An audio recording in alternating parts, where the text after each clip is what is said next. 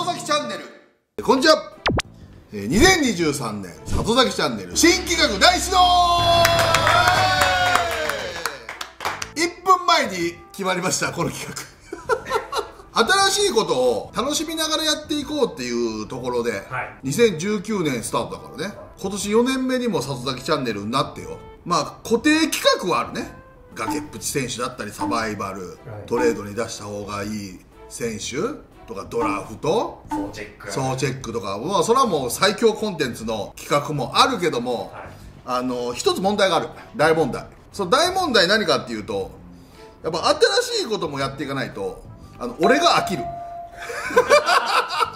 やっぱりね楽しんでいかなきゃ意味ないじゃん。ってなった時に今回「えー、さずきチャンネル大希望企画新始動」ということでねあのやっていくのが、えーこちらです。未来のドラフト候補生集まれ。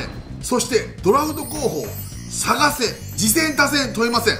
あなた自身あなたの息子さんのチームメイトすごい球里崎が受けて探しに行きます。おお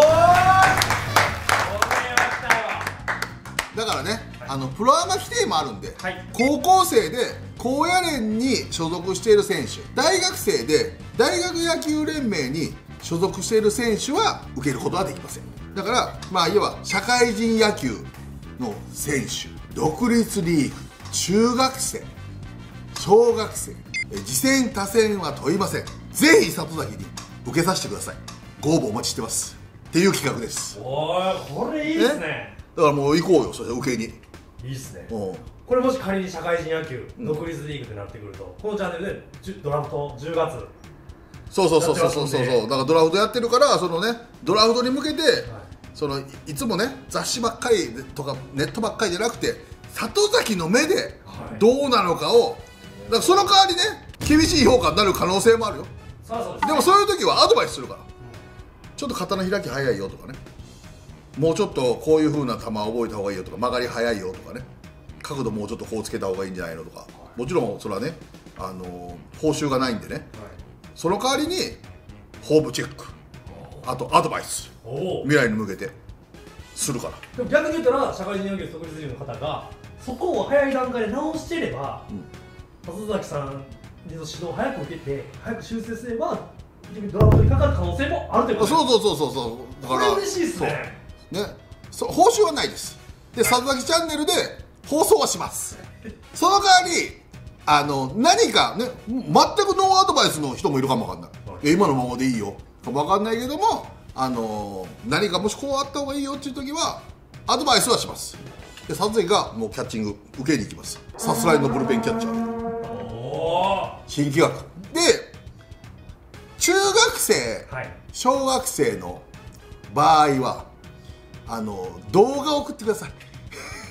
あのはいやっぱあの全やっぱ全員ねいけないし里崎のスケジュールで合わせてどこ行けれるかが勝負なんで応募が来ても全員いけるかどうかは分からないです、ですだから、まあ、より良い可能性があるを受けたいんで社会人独立リーグはね、はい。もう大体分かるんで、い。受けに行きますけども中学生小学生はちょっと分かんないんであの動画、ね、アピールポイントを。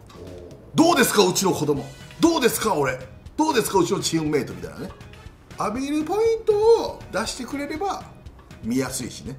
行きやすいから。その動画の送り方なんですけど、ん。これはもう僕らちょっと注文があるんですけど、うん。ただ動画を送るギガファイルとかでやめてもらいたいんですよ。ギガファイルダメなんだギガファイル LINE とかじゃなくて、うん。自分であの YouTube のアカウント作ってもらって、うん。限定公開で送ってほしいんですよ、そうなの？はい、そうしないとやっぱりどこでもポンと押すだけで見れ見れる見れない見れないんですよね、動画だけいただくとダウンロードってところからスタートするのでやっぱり w i f i の環境であったりとか出先でまあちょっと時間があるなって時に確認ができないので、うん。自分でアカウントを作っていただいて限定公開で URL のみをメールでいただきたいんです。であのその送り方については、はい。あの概要欄に あのこの動画の概要欄に貼っておきますんで。はい、これでもどうします？全国沖縄から来たほ九州いきますか、そそれは行くよ。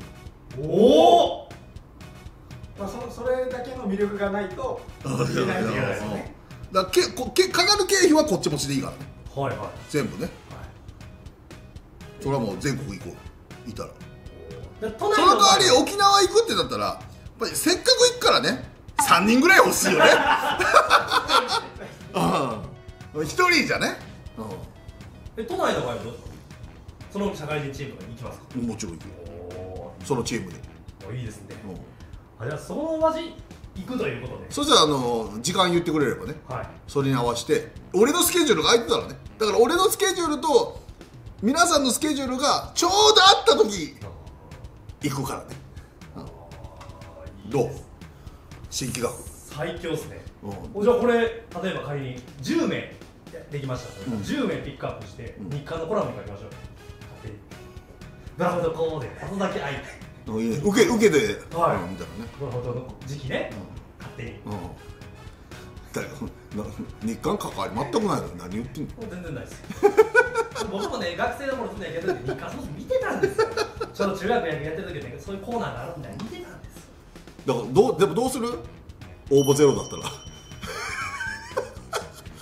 それは可能性あるやん応募ゼロだったら。いやそれはねしいですね。応募ゼロだったらもうこっちから連絡するしかないな。あの受けさせて撮影込みで受けさせてもらえますかみたいなでも逆にそのささバッター陣で見たいとかどうしてるんですか？例えばバッティング、うちの子ピッチャーじゃなくてバッティングなんですけどっていう野手でなんですけどっていうのはもう受け付けないってことですか？それはもう何ですか、うん。ピッチャーのみということですか？ピッチャーのみ。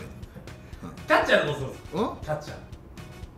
キャッチャー何？キャッチャーで社会人でナンバーワンキャッチャーみたいやうう打てるやつがいいか簡単でした。キャッチャーじゃない。らうんピッチャー受ける受けれるからね。あー受けて判断ということですね。受けて判断。サスさんが打てるかどうかっていうのも。やっぱさすがに社会人とかは打てないから、まあ、中学生高校生ぐらいだったらまあ受けて打ってあげてもいいよ。まあ多分、まあ、俺抑えれなかっ無理ですよね。た まあでもまだ成長するのにあと数年あるからね。いい思い出になるかもわかんないけどね。でも今小学校中学生のレベル相当高いんでいや高いっつったって俺プロだよ。いやそりゃそうなんで。俺そう俺相当高いよ俺も。もしかしてそこから発掘した小学生中学生が何年後かに。そうだね。あのさすがきチャンネルからの、はい。っていうのもねはい。あるかもわかんないしね。強豪校で4番とかで甲子園出たりとかするとねまた面うん白いかそうそうそうそう、もしれないしうん、だからそういったところではね、はい。まあ、あの次戦多戦は問わないんでね。ぜひこの概要欄にも含めてねご応募してくれてればあなたの街のあなたをサズイが受けに行きますこんな張り切って言ってるけど応募者がゼロだったら自然消滅してこの企画なくなります。